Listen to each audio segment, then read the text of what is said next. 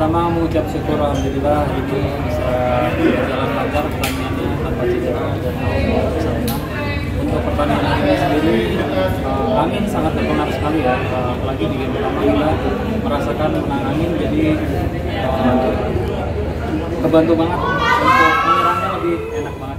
Jadi tadi di game kedua kebalikannya kita kalah angin, kita belum bisa mengontrol permainan ya keduanya. Dan di game ketiga kita pas menang angin, jadi kita coba buat lebih uh, start startnya lebih bagus juga lebih safe juga, jadi ke sananya lebih enak. kita tinggal cukup jauh ya 20 ke 10 di babak kedua itu karena angin faktor angin saja atau bagaimana? Ya, yang pasti berasa banget ya faktor anginnya karena kita di kalah angin itu mau mencoba untuk menyerang tapi mereka misalnya uh, nggak mampu juga jadi sempat kebingungan kita Pasti video tadi yang sempat kesel gitu akan kain seperti apa dan tadi ngomong apa aja ke Enggak, dia protes-protes aja sih, protes-protes bahwa itu emang tanggung. Tapi untuk keputusan wasit mutlak nggak bisa apa-apa. Kalau kita pribadi sih ya bebas terserah wasit gitu. Itu aja, tapi dianya kayak nggak terima. Tapi ya itu hal yang wajar sih.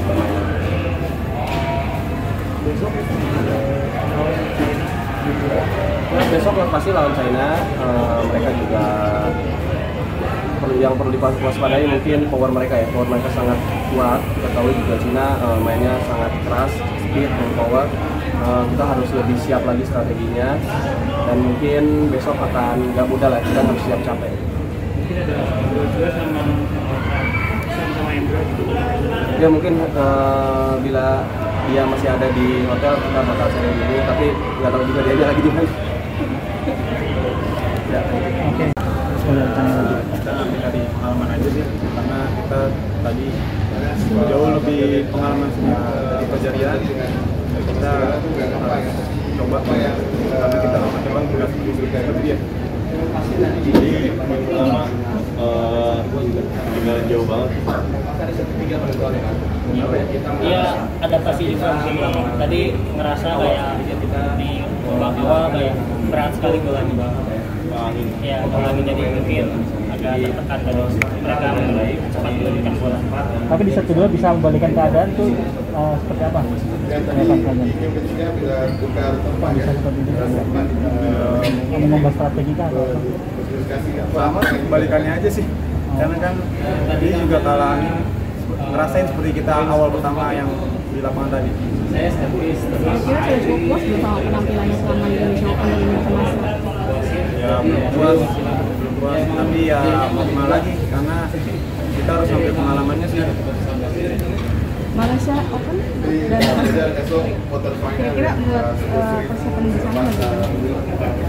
Ya mungkin setelah ini kita pulang ke Banas mungkin kita dievaluasi oleh pelatih dan kita dilatih lagi kekurangannya untuk maksimalin lagi kita sekali. kurangannya apa nih Eh, dari dua